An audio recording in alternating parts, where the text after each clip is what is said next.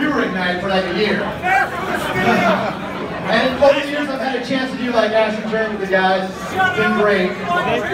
But now I'm going to bring my brother Randy Johnson, who has not performed these songs in 23 fucking years. So get ready.